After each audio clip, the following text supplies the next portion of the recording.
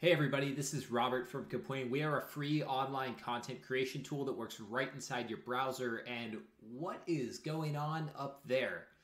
There's another one over there. Oh, I see. These are those progress bars that I've seen on videos on Instagram. It's like a loading bar that shows you how much time until the video's over. But how, how do they make these? Well, it's actually as simple as two clicks, and I'm going to show you how to do it today. This is how to make a progress bar and add it to any video for social media. Let's go over to the Kapwing studio and see how it's done. Welcome to the studio. So we're here on a teaser video I made for social media, and I'm going to add a progress bar because that's the only thing this video needs before it's ready to post. So I said before, two clicks, and I'm sticking to that promise. So when you're in the studio here, you'll go up to the Shapes button in Kapwing and you'll click Shapes. Next, you'll see this button right down here below our shapes on the right panel that just says Add a Progress Bar. So I click that, and like I said, and today we're going to talk about how to use Kapwing to make. There's that progress bar.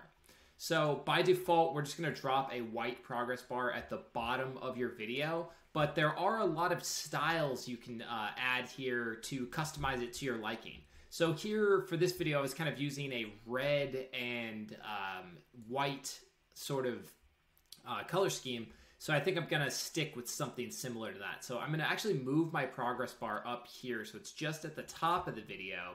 And I think I will change it to a shade of red maybe. So it's a little bit of a different shade from uh, my panel here so that it doesn't totally blend in. Now I have a few styles I can choose from. There's the gradient one, which is pretty cool. Here, I'll mute the video so you can see what that looks like. And then as the progress bar goes, the gradient gets darker and darker and darker. Now there's several other styles. There's the glowing style that adds kind of a glow effect around it. And even the background style that uh, provides an outline so that you can see just how long the bar is going to be. So there's actually a lot you can do with these uh, custom progress bars. You can change the size. I can make it the whole size of the video if I want. Um, you know, not sure I'd want that, but there's some cool kind of aesthetic things you can do with these progress bars once you start playing with them a bit. Uh, another thing I think is pretty cool is I can even rotate it here and have it load diagonally across the video as it progresses.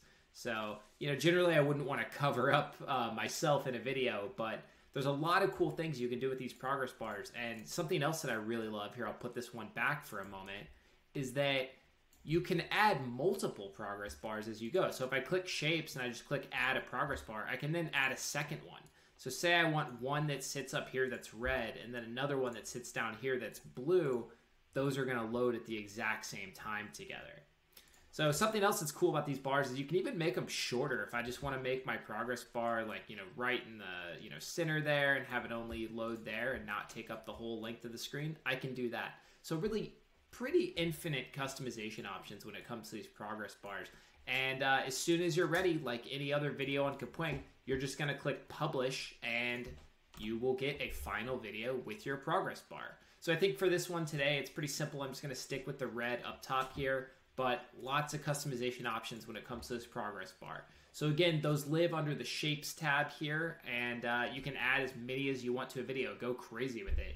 So this is a new feature that we just added to Kapwing, and I'm super excited to share it with you all. Please, uh, if you found this video useful, just two clicks. I'm not sure you'll find many other tutorials that can give it to you in two clicks. Uh, drop us a like down below. Subscribe to the channel. We're making new tutorials all the time, and every time we release a new feature, we do a tutorial on it just like this one.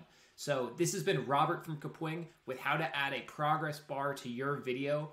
Check back soon for much more.